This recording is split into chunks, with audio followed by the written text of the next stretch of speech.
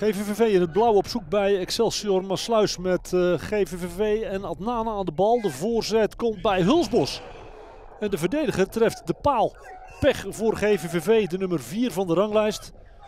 Op bezoek bij de nummer 6 Excelsior Maasluis dat uh, dit seizoen in eigen huis nog niet verloor.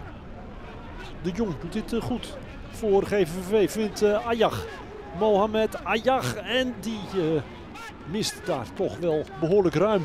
De vervanger van Martin van Eck, de rechterspits die dinsdag op de training zijn middenvoetsbeentje brak.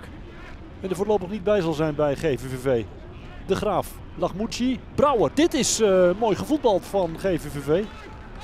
Had beter lot verdiend. Excelsior komt er in de eerste helft niet aan te pas. Mag blij zijn met de 0-0 ruststand. Van den Ende. Moreno. Excelsior uh, zonder uh, de boomlange spits Kevin Vink. Het afstandsschot is van uh, Redert. De kapitein vindt Johan Jansen op zijn weg. En zo blijft het 0-0. Ook als deze voorzet in de handen waait van Johan Jansen. En GVVV eruit kan. Dat is niet voor lang. Van den Ende profiteert van een slechte paas van Van der Voort. Redert.